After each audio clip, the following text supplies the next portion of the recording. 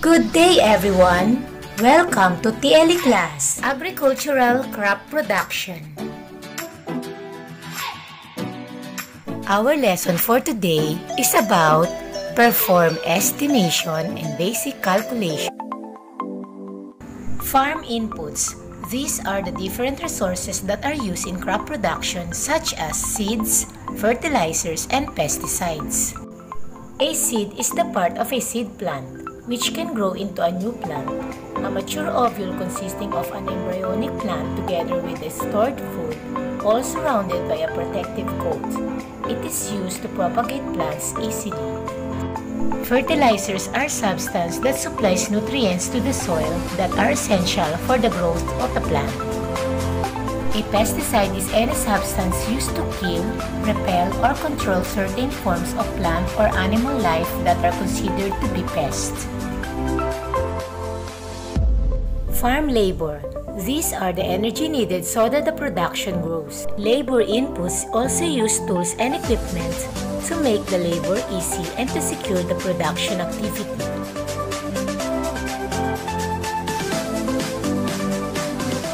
Labor requirement for land preparation. Plowing using a tractor. Clearing of the land using a hoe. Plowing using animal. Harrowing using a hand tractor. Labor requirement in planting. Pulling of seedlings. Transplanting of seedlings. Labor requirement for plant care. Fertilizer application. Pest control. Irrigation. Weeding. Harvesting. Threshing rice. Drying rice and storing. Planting crops. Seeds are very important to animals and human beings because almost all the plants, which are the sources of food, come from seeds. A seed is a fertilized and ripened ovule which may develop into a plant by germination. Parts of the seeds are seed leaves, future shoot, and future root. Testing the viability of seeds.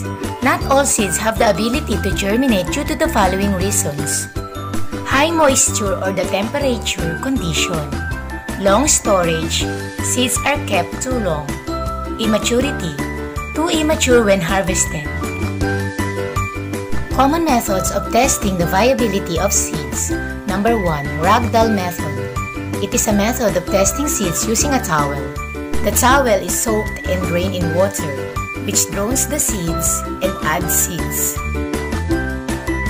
Seed box method. It is the process of germinating your seedlings in one flat tray, usually 3 to 4 inches deep. Petri dish method, also known as container method, that uses a shallow transparent lidded dish. It has the advantage that the seeds can be observed through the transparent lid and the germinating seeds are therefore easy to count.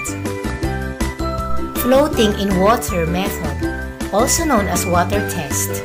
Take your seeds and put them in a container of water. Let them sit for about 15 minutes. Then if the seeds sink, they are still viable. If they float, they most likely will not sprout. Here is the formula for computing the percentage of germination. Percentage of germination is equals to number of seeds germinated times 100 over number of seeds sown. For example, after inspecting the seed box, you find that only 180 seeds germinated out of 200 seeds that you are sown. The percentage of germination will be Percentage of germination is equals to number of seeds germinated which is 180 times 100 over number of seeds sown which is 200. 180 times 100 is equals to 18,000 over 200. When you divide this, the answer is 90. So the percentage of germination is equals to 90%.